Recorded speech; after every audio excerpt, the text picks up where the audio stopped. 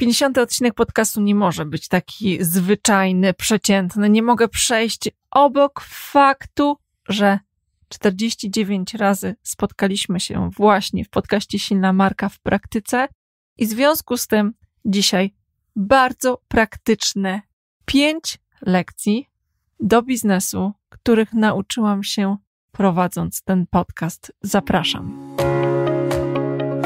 Wnikliwi obserwatorzy i ci, którzy są na bieżąco z tym, co publikuję z moim newsletterem, wiedzą, że przez ostatni czas trochę się wycofałam. Potrzebowałam tego czasu, żeby się zastanowić, co robię, dlaczego robię i czy na pewno w takiej formie, jakbym chciała.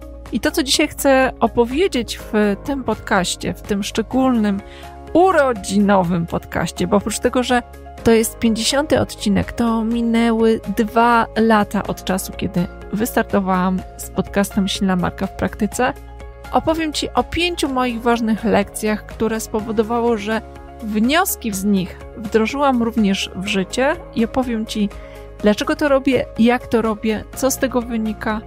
I mam nadzieję, że to będzie inspiracja dla Ciebie, żeby znowu w praktyce prowadzić to u siebie i mieć z tego relatywne korzyści finansowe, emocjonalne lub satysfakcję z tego, że robi się, testuje się, sprawdza się, a w ten sposób żyje. Lekcja numer jeden. Tak naprawdę związana jest z tym, jak zaczynałam ten podcast. Kiedy zaczynałam ten podcast, a było to dwa lata temu, na rynku było o wiele, wiele mniej podcastów. Nie słyszeliśmy wtedy o COVID-zie ani o całym tym zamieszaniu z pracą hybrydową. Spędzaliśmy dużo czasu w internecie, oczywiście, ale nadal byliśmy w takim rozkroku pomiędzy tym, jak wyglądał świat sprzed internetu, a tym, jak internet zawładnął naszymi sercami i duszami, nawykami.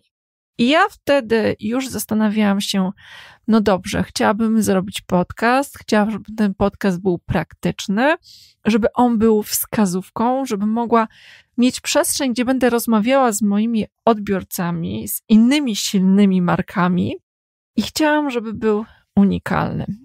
I oczywiście zaczęłam szukać po rynku za tak zwanymi benchmarkami, za podcastami, które byłyby dla mnie inspiracją, i im więcej szukałam, tym więcej fajnych rzeczy znajdowałam, i tym bardziej mnie to dołowało i frustrowało, bo zastanawiałam się, no ale co ja mogę nowego do tego dodać?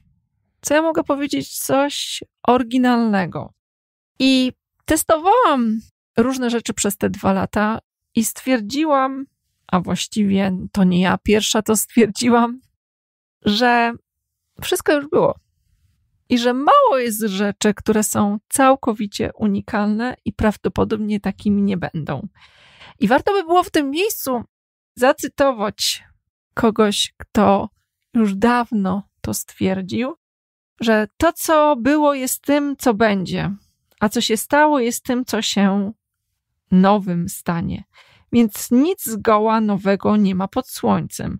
Jeśli jest coś, o czym by się rzekło, patrz, to coś nowego. Już to było w czasach, które były przed nami. I Kocholet już to powiedział, że nie ma nic nowego.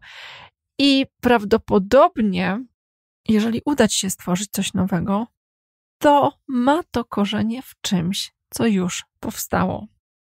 Jednak musisz wiedzieć, że twoi odbiorcy przychodzą nie tylko do ciebie dlatego, że szukają czegoś nowego, czegoś odkrywczego, ale szukają spotkania i podania wiedzy. Szukają formy, która jest unikalna wyłącznie dla ciebie. I nie chodzi o to, czy ktoś to zrobił wcześniej. Tutaj chodzi o to, że nikt nie zrobi tego tak jak ty. Bo to właśnie Twój indywidualizm, Twoja osobowość, Twoja osobowość marki sprawia, że ten format, ta treść jest odpowiednia właśnie dla tej osoby. I Tworząc podcast, miałam mnóstwo wątpliwości, czy stworzę coś oryginalnego.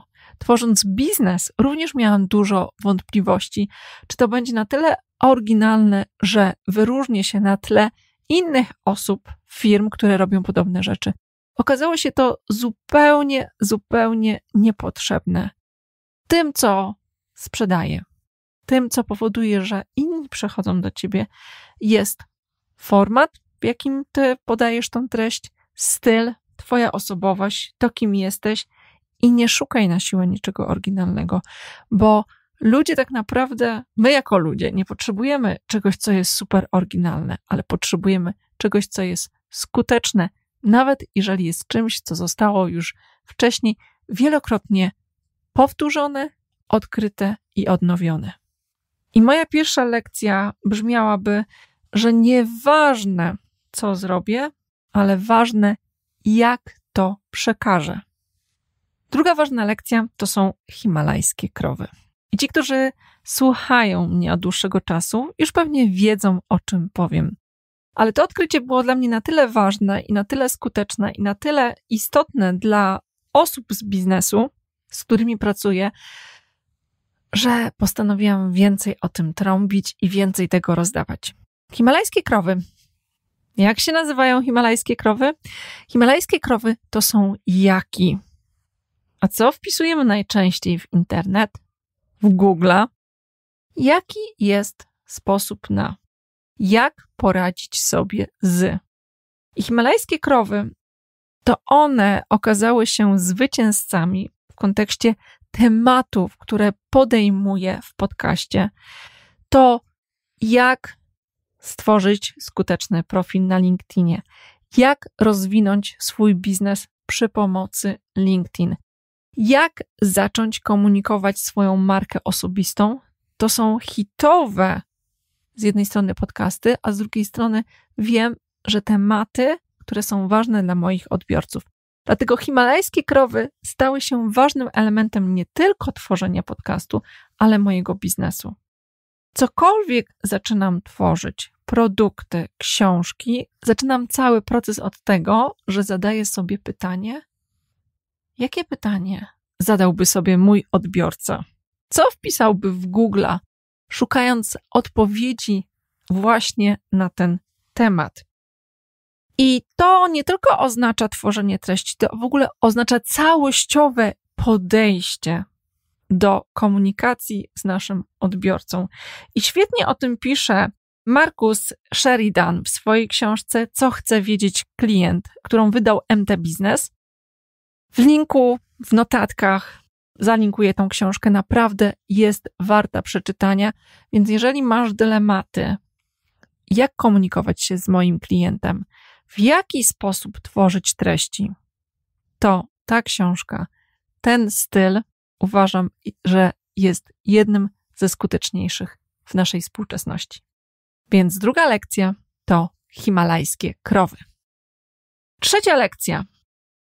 Mogłabym ją krótko nazwać koncentracja na tym, co najważniejsze. Te dwa lata, a w sumie też cztery lata, kiedy prowadzę biznes, to były lata, w których przetestowałam mnóstwo różnych koncepcji. To były lata, w których mierzyłam się z nowymi tematami. To było wiele, wiele wyzwań i obciążeń, takich zwykłych, codziennych, emocjonalnych. To też był czas, który zbiegł się z momentem, kiedy byłam bardzo, bardzo młodą mamą. Znaczy, wiek mam jaki mam, natomiast moje dzieci były bardzo małe. Kiedy startowałam ze swoim biznesem, mój najmłodszy syn miał rok czasu. Kolejne dziecko 3 lata, a najstarsze 6 lat. Więc to nie były super komfortowe warunki, i pamiętam, że wielokrotnie w takich chwilach przemęczenia uciekałam do social mediów, do sprawdzania poczty, co spowodowało we mnie taki nawyk, wręcz nawyk, w którym kiedy coś jest trudne, to prokrastynuję właśnie poprzez social media, poprzez sprawdzanie poczty. I zauważyłam, że to jest po prostu łatwe. Zauważyłam, że to jest po prostu przyjemne. I powstał w mojej głowie taki wytrych, żeby może zrobić coś takiego, żeby łatwym i przyjemnym zrobić to, co jest ważne, to, co jest istotne, a utrudnić to, co jest nieistotne i to, co powoduje, że marnuję swój czas i odwlekam. I mówię to oczywiście jako perfekcjonistka, która prokrastynację ma opanowaną do perfekcji. Jakie wnioski z tego? Co z tym zrobiłam? Zrobiłam przede wszystkim to, że usunęłam aplikację z mojego telefonu. Zrobiłam to, że nie jestem w stanie wejść na pocztę z mojego telefonu. Nigdy nie miałam maila na swoim telefonie, ale łatwo wchodziłam z przeglądarki na moją pocztę gmailową i tam spędzałam za dużo czasu. I co? Jak mogłabym powiedzieć, jaka jest lekcja trzecia? Koncentracja na tym, co najważniejsze. Ułatwiaj to, co ważne, a utrudniaj to, co nieistotne. Czwarta lekcja, czyli procesy i tak naprawdę zaufaj procesowi. Jako osoba, która pracowała w wielu korporacjach ze słowami procesy, procedury, miałam naprawdę bardzo dużo wspólnego. I zupełnie mi nie dziwiło to, że pewne rzeczy trzeba poukładać. Właściwie, jak założyłam swoją firmę, jak zaczęłam nagrywać podcast, to on był oparty o pewne procesy, o osoby, które brały ode mnie pewne zadania od tego, że nagrywałam podcast, później przekazywałam dalej do osoby, która go edytowała. Pozdrawiam Kuba, ciebie, który ze mną zaczynałeś, i teraz Grzegorz, który ze mną kontynuujesz ten podcast, poprzez Magdę, która nieustannie ze mną pracuje od trzech lat, która zajmuje się publikowaniem, umieszczaniem informacji w social media ale te procesy miały dziury.